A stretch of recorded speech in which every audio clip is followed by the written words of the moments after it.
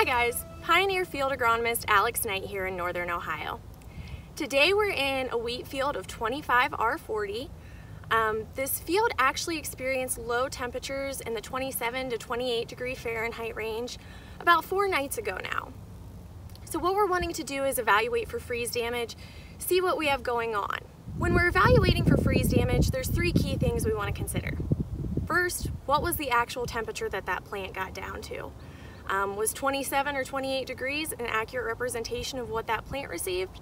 Or in some of those low spots, was that temperature a little lower? What growth stage is that crop at? Different growth stages can withstand different low temperatures, so we also want to evaluate that.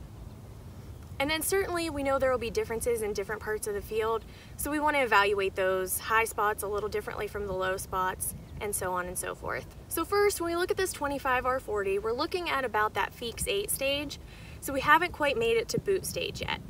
This is actually good for us because when we talk about those joining stages, that temperature low that we can usually endure is about 24 degrees Fahrenheit for two or more hours.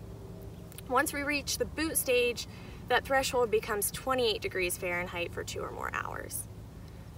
As we look across the field, we're seeing some burning on those leaf tips, so that's obviously a symptom of um, the freeze damage. However, we're going to split some heads open here and see what, um, what we're seeing on the inside of the plant and if there's anything to be concerned about there.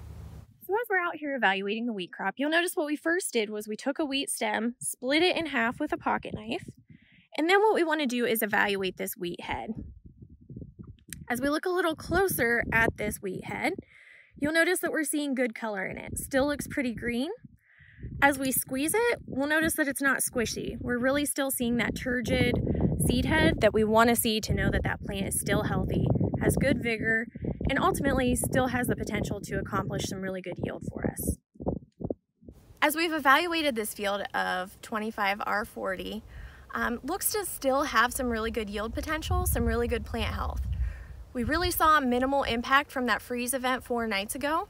However, we still want to look at these on a field by field basis um, and definitely make it a point to go to those low spots in the field. If you have further questions, feel free to contact your local Pioneer sales rep, your territory manager, or your local Pioneer agronomist. Thanks for tuning in. Look for more updates as our season progresses. That concludes this Pioneer Agronomy video podcast.